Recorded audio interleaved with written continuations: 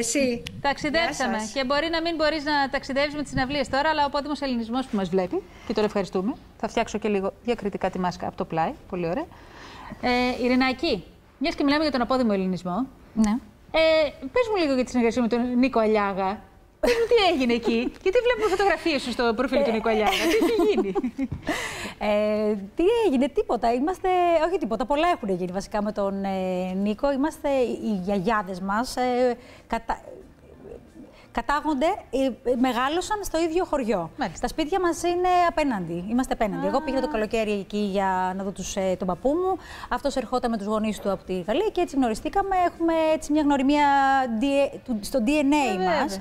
Ε, βαθιά, γιατί ήταν κολλητές οι γιαγιάδες μας. Τι ωραίο. και κάποια στιγμή που βρεθήκαμε στο χωριό μου λέει να σε φωτογραφίσω γιατί ο Νίκος ασχολείται με τη Τέλειο. φωτογραφία και έτσι μου φω- με φωτογράφησε και υπάρχει φωτογραφία μου στο προφίλ του. Τι ωραία. Και έχω γίνει κι εγώ, έχω ταξιδέψει στο εξωτερικό με τι να κάποιο σε κάνω, τρόπο. τι να σε κάνω. Ξεκινάει η διεθνής καριέρα. Αλλά πάμε για την εγχώρια. Πες μου λίγο θεατρικά τι ετοιμάζεις. Θεατρικά, καταρχάς τώρα θα, θα ολοκληρώσω τη- τα γυρίσματα με τον, μέχρι, τον, Απρι- μέχρι τον Μάιο, θέλω να πιστεύω, θα τελειώσει ε, η σειρά. Ε, και μετά θεατρικά, αν όλα πάνε καλά και ανοίξουν τα θέατρα, έχω μια εκκρεμότητα με τον Διπεθενίου ε, για τον επόμενο χειμώνα. Που Ο ήταν να γίνει- σκηνοθετής. Ναι, σκηνοθετώ. Ε, τη δεξιά της επιτουράσου του Γιάννη του Μακρυδάκη. Ε, Μπράβο, σου λέω γιατί το διάβασα μόνος μου στο αυτό. Μπράβο, αυτό είναι. ναι, ωραία. Ε, και περιμένω να ανοίξουν τα θέατρα βασικά και Με να το καλό. δούμε. Και άλλα πλάνα γενικά υπάρχουν και άλλα project. Και εδώ με τον Άρη που μίλησε πριν.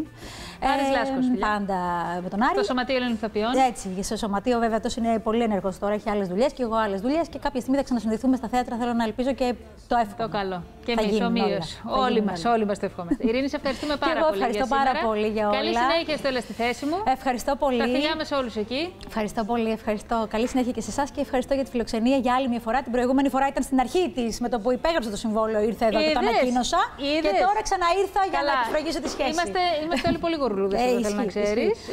Ε, οπότε μην ανησυχείς για τίποτα. σα ίσα που σου δίνουμε όθηση με κι άλλη ενέργεια, κι άλλη ενέργεια. Το κι ξέρω, άλλη γι' αυτό επέκταση. ξανάρθα για να πάρω και άλλη ενέργεια. Και θέλω να σου πω ότι και εσείς που είστε μιας άλλης ηλικίας, 65 και άνω, εσείς που μπορεί να φοβάστε για Αλτσχάιμερ κλπ. Έτσι, γιατί διαβάζω εδώ πέρα ότι το Αλτσχάιμερ αφορά άτομα κυρίως άνω των 65 ετών. Εμείς είμαστε εδώ πέρα για να σας τροφοδοτήσουμε με ενέργεια. Να ξέρετε να προστατεύεστε, να λειτουργεί αυτό σε άλλα επίπεδα και σε άλλη συνειδητότητα για να μην έχετε τέτοιο θέμα. Πάμε να δούμε γιατί η Ελένη Μπουγά πήγε στα, στο ιατρείο, στα κέντρα ημέρας τη εταιρείας Αλτσχάιμερ για να μιλήσουμε γι' αυτό και θα μιλήσουμε εκτενέστερα και για το πώς αυτή η νόσος που έχει να κάνει πολύ με τη μνήμη και τη συνειδητότητα. Πολύ σημαντικά προς συζήτηση. Αλέξανδρε Λιζάρδο, έχουμε να κάνουμε φιλοσοφική συζήτηση. Ε. Εδώ. Θα μας πει λοιπόν πώς πώς εμπνέει και την τέχνη. Δείτε.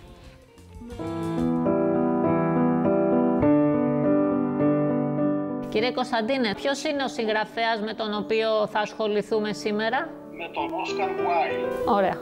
Η συγκεκριμένη λέσχη βιβλίου δεν είναι μια συνηθισμένη λέσχη ανάγνωσης. Είναι μέρος του θεραπευτικού προγράμματος για την νοητική ενδυνάμωση των ατόμων με άνοια του Κέντρου ημέρας της εταιρείας Alzheimer. Ένα κέντρο ημέρας φανταστείτε το ότι είναι σαν ένα σχολείο, απλά είναι για ενήλικες.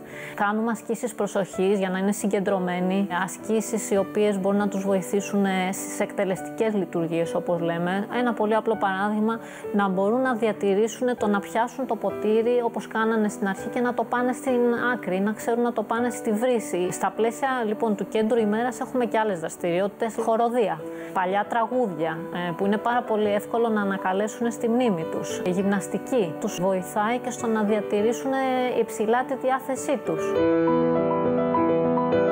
Ο ρόλος μας ε, είναι να προσφέρουμε αυτή τη διέξοδο στους ε, ασθενείς να έρχονται να απασχολούνται εδώ καθημερινά και καθοδήγηση και στους φροντιστές και στις οικογένειες στο πώς να διαχειριστούν μια κατάσταση, πώς να συμπεριφερθούν, να συμβουλευτούν εμάς για το πώς να διαχειριστούν την ασθένεια και τους ε, οικείους τους.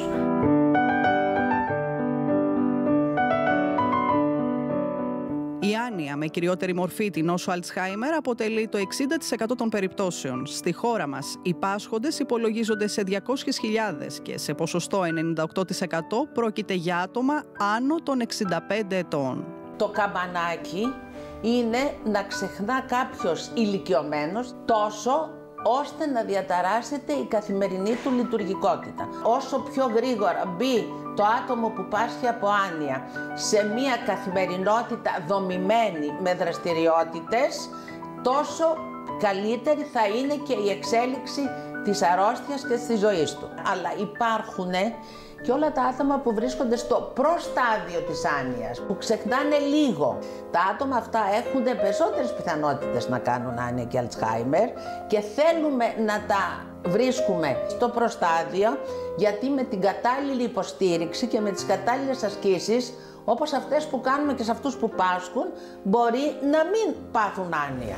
Όχι, όχι, δεν είμαστε εδώ. Τι όχι κυρία μου, εδώ μου γράφετε. Δεν είναι εδώ το σπίτι του γιού μου. Αν και προς το παρόν δεν υπάρχει ριζική θεραπεία της νόσου, εν τούτης για την πρόληψή της, σημαντικός παράγοντας θεωρείται ο υγιεινός τρόπος ζωής με αυξημένες δραστηριότητες. Είναι σίγουρο ότι η έλλειψη ερεθισμάτων, η ζωή η μονότονη, χωρίς εναλλαγές, χωρίς διασκέδαση, χωρίς επικοινωνία με ανθρώπους, μπορεί να φέρει πιο μπροστά την εκδήλωση της άνοιας. Ενώ μία πλούσια, μία εμπλουτισμένη ζωή μπορεί να απομακρύνει χρονικά την εμφάνιση της νόσου Αλτσχάιμερ ακόμη και αν έχουμε την προδιάθεση στο κύτταρό μας και να μην πάθουμε και ποτέ. Θεραπευτικά προγράμματα δωρεάν για αυτοεξυπηρετούμενους και μη ασθενείς εφαρμόζονται καθημερινά τόσο εντός όσο και εκτός των κέντρων ημέρας. Λόγω του COVID δεν μπορεί να έρθει σχεδόν κανείς εδώ. Πηγαίνουμε εμείς και εξυπηρετούμε και λειτουργικούς και μη λειτουργικούς, και περιπατητικούς και μη περιπατητικούς. Μας περιμένουν πάρα πολύ γιατί είμαστε ίσως και οι μόνοι άνθρωποι που θα μπούμε σε αυτό το σπίτι. Ξεταλάζουμε κουβέντα μαζί τους, οπότε για αυτού είναι πολύ σημαντικό. Η εταιρεία Alzheimer Αθηνών ιδρύθηκε το 2002 και σήμερα αριθμεί περισσότερα από 5.000 μέλη.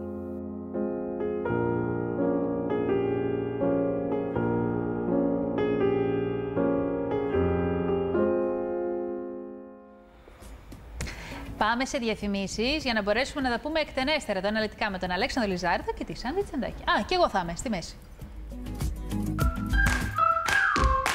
Τον.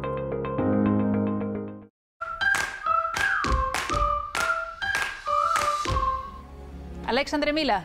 Θα τα, Πες πω, τα. θα τα πω πάρα πολύ σύντομα. Ο κινηματογράφος, για να συνδέσουμε το προηγούμενο μας θέμα με αυτό, έχει παρουσιάσει το θέμα του Alzheimer ιδιαίτερα τα τελευταία χρόνια. Είναι ένα αρκετά σημαντικό κομμάτι ε, που συνδέεται με την συναισθηματική μας νοημοσύνη. Πέντε λοιπόν ταινίες διαλέξαμε, οι οποίες μας φέρνουν πιο κοντά σε αυτό το θέμα, το οποίο πρέπει να το αντιμετωπίζουμε με λίγο παραπάνω α, συνέστημα και αγάπη. Γιατί δυστυχώς οι άνθρωποι που χάνουν τη μνήμη, τας- τη μνήμη τους συνδέονται άμεσα με εμάς. Το, το δικό μας κομμάτι α, πάντοτε συνδέει το παρελθόν τους με το παρόν μας και με αυτόν τον τρόπο α, νιώθουμε αυτή την βίαιη ε, αποκοπή από τα πρόσωπα που αγαπάμε. Ο κινηματογράφος το δείχνει λοιπόν πολύ καθαρά. Πέντε ταινίες για εσάς.